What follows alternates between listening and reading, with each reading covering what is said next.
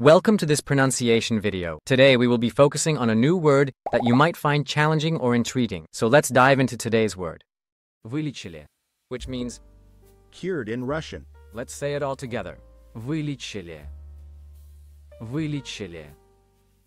Вылечили. One more time. Вылечили. Вылечили. Вылечили. Thank you for joining us on this adventure in pronunciation. Remember, language is a journey, not a destination. Keep exploring, experimenting, and expanding your linguistic horizons. We'll see you next time.